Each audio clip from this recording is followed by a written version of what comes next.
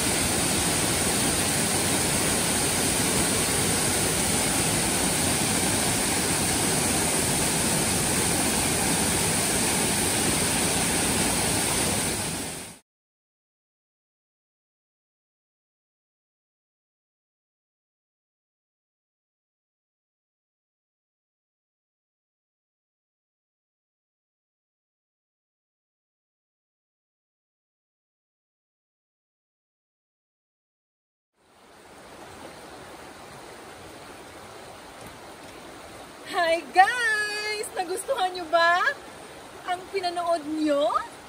Anyway, maraming salamat sa lahat na nandito sa aking premiere.